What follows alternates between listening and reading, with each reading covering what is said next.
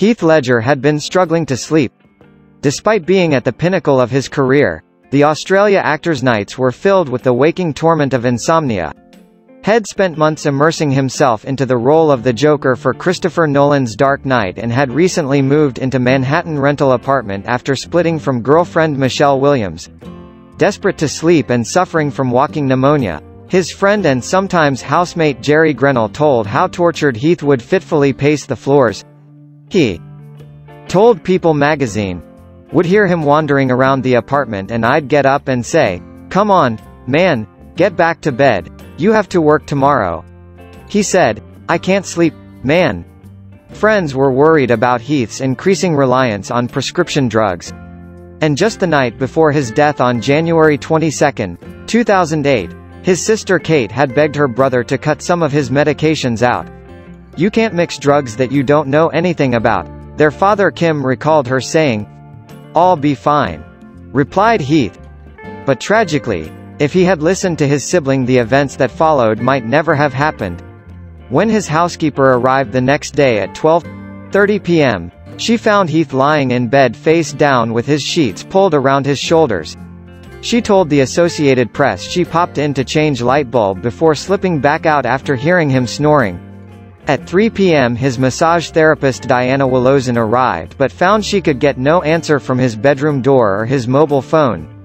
She decided to set up her table in his bedroom, but upon trying to wake him was horrified to discover his body was cold and unresponsive. In fit of panic she is said to have called Heath's good friend, actress Mary, Kate Olsen, before continuing her efforts to wake the star. Realizing he was dead, Diana called 911 where an operator reportedly guided her through CPR until the paramedics arrived minutes later.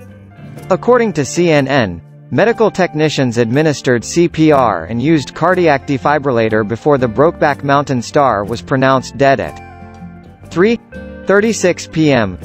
Rumors immediately flew about what had caused his mysterious and sudden death, with many speculating that the darkness of the Joker and his split from Michelle had plunged him into state of depression. However, an autopsy the New York coroner found that he had died of acute intoxication after ingesting cocktail of prescription medication. His death was ruled an accident.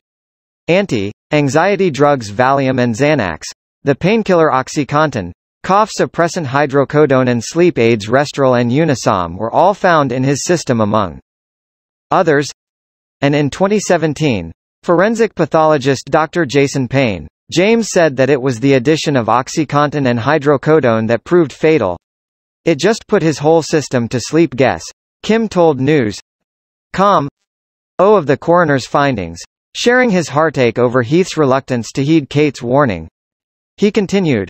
It was one off thing. That's what killed us, because he was warned by his sister the night before. You shouldn't mix what you're taking for pneumonia with your Ambien. He was young guy. That traveled all the time for work. Even as two-year-old, he hardly ever slept. He was trying to work and travel and do everything in short space of time. He continued, Heath mixed couple of drugs together with sleeping tablets and he's gone forever.